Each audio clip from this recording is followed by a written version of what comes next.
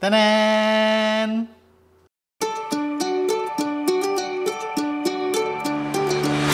Okay, so earlier today we went to Prodigy Coffee Roastery. We attended a coffee cupping session with Prodigy Coffee Roastery and About Neilo's Coffee Roastery. It was held in um, Prodigy Coffee Roastery's coffee shop along E. Rodriguez near Hemady and Tomas Morato. So um, if you're around the area, Prodigy Coffee Roastery is a really good coffee shop because they serve specialty coffee and they roast their own coffee. Okay, it was a very um, limited event, so they only allowed 12 participants for the cupping session.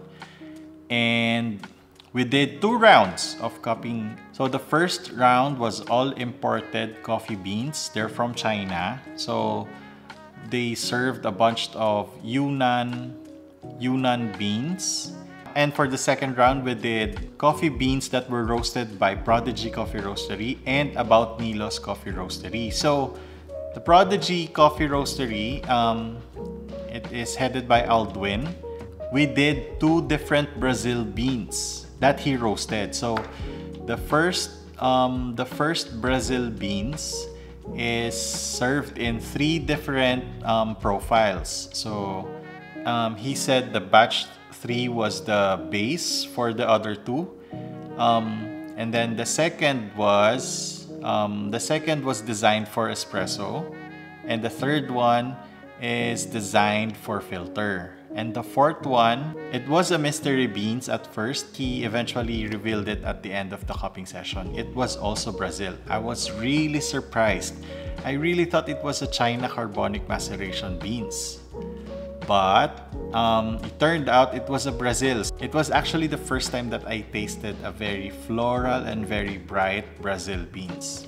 Prodigy Coffee Roastery also presented uh, Vietnam beans. That was really good. It was very savory. Um, I think it's a it's a very good start for the Vietnam beans coming out of um, their specialty coffee. You can actually buy that beans in Prodigy Coffee Roastery.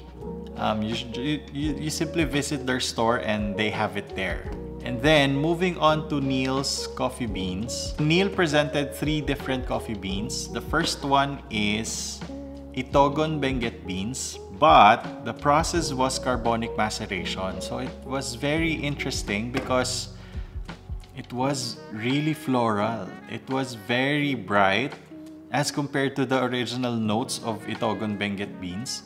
Itogon Benguet beans are originally very nutty and very chocolatey, very thick body, but because of the process that they did, the carbonic maceration, it turned out to be a very floral, very bright coffee. And then next is Gesha El Paraiso. How else can we describe a Gesha El Paraiso? and the last one was the Finca Hartmann. Actually, out of the three, the Finca Hartmann is my favorite. Well, mostly because the Gesha El Paraiso was very um, predictable for me.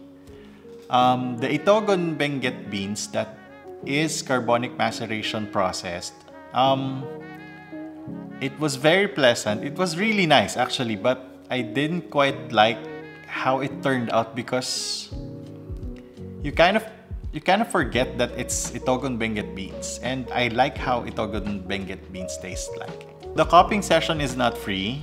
The slots cost about 500 pesos.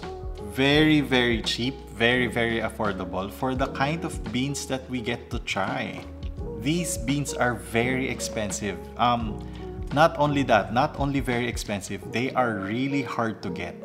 Okay? Um, not because they're overseas, but even in China, they are really hard to get.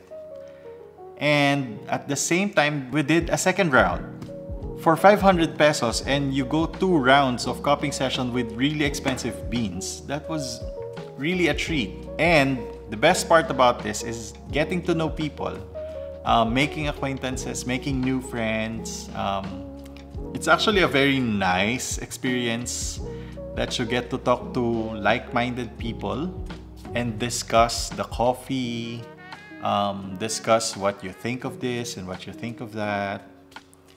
Yeah, I, I, I really enjoyed the cupping session with Prodigy Coffee Roastery and about Neilo's Coffee Roastery.